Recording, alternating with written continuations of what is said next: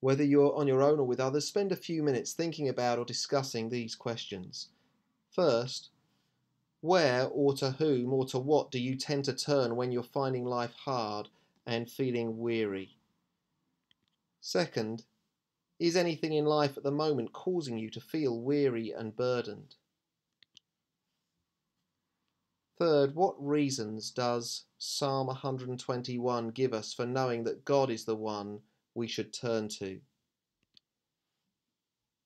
Next, how does the gospel encourage us to look to Him?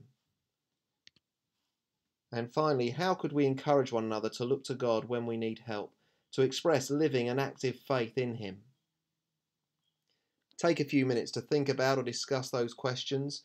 Press pause now so that you can do that, and when you've finished, press play again and some prayer ideas will follow.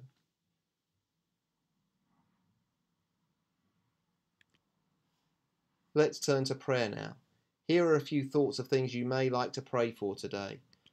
First, praise God that He is our Maker, the Maker of heaven and earth, and that we can call Him Father. Praise Him for His infinite strength and power that means He never has to take time off.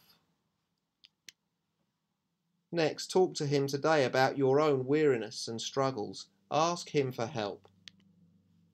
And finally, praise Jesus that though He is God's forever King, He came not to be served, but to serve, even us. Press pause now to keep these ideas on the screen so they can prompt you while you pray.